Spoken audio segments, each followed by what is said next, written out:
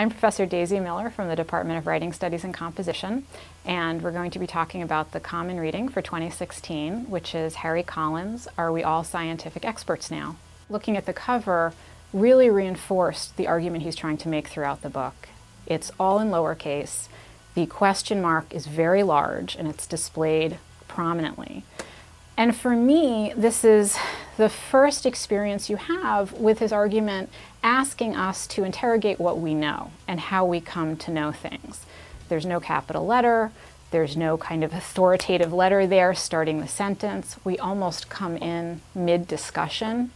And the question mark is a cue to us to be critical about how knowledge is built, how we should even read this book, and I think it's a good reminder to people in the university, whether it's faculty or students, that what we're trying to do is to cultivate a spirit of inquiry. There is a lot of knowledge at our fingertips that you can Google something, you can look at a website that talks about climate change or vaccines or your own health and feel as if you're becoming knowledgeable. And he reminds us that there's it's necessary to evaluate and assess this type of information.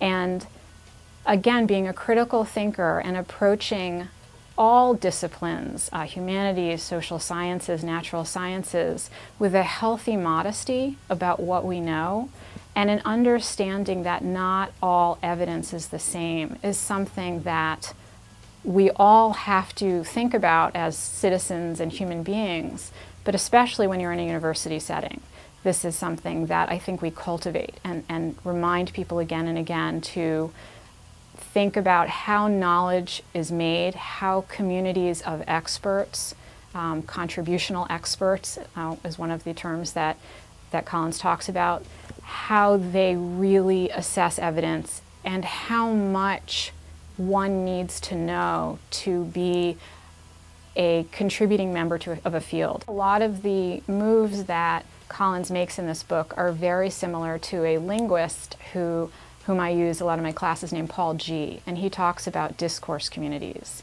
and your primary discourse community being how you the language you were raised with, knowing table manners, the things that come very naturally to you because of the situation in which you were raised.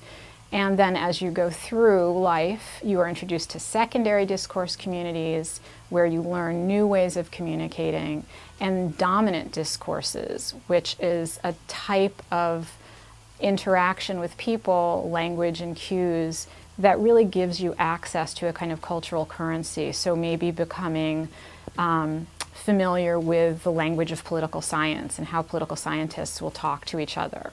But it's a very, very gradual apprenticeship. For Gee, this is a really difficult immersion that you have to go through. And Collins talks about this too as he listens to scientists, right? And he becomes, as he says, embedded with um, gravitational wave scientists and listens to them and can begin to speak the way they do.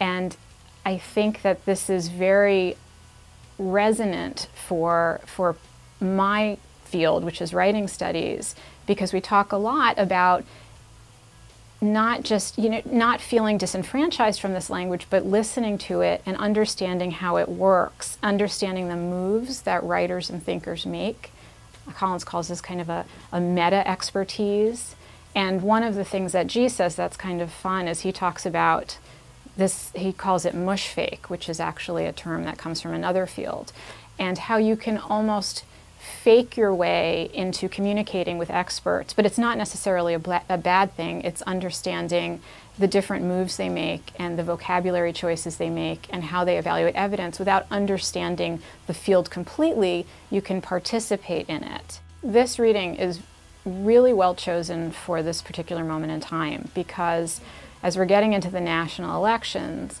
we are going to see, and we've already seen with the candidates, more and more discussion about sciences. And Collins talks directly about things like climate change or vaccines, things that the candidates themselves have already talked about. And although Collins doesn't delve directly into policy implications, nevertheless, the idea of being able to evaluate how a candidate would potentially make policy based on beliefs is something that we have to think very seriously about. So, what kind of evidence are the candidates using to back up their claims? How do the scientists suggest that the voters assess science themselves? And so, Collins gives us a way to understand science that I think will make us more thoughtful citizens in assessing the candidate's uh, position with regard to science and to potential policy itself. And I, I think this book is really interesting because I don't think it's the easiest book to read. I think that, and if you read reviews of it, you'll see there are critiques of Collins himself and how he approaches it. After all, he's not a scientist, he's a sociologist. A sociologist. But I think that's one of the reasons this book is so great, is because it, it asks you as a reader to question the book itself and to question his questioning of science.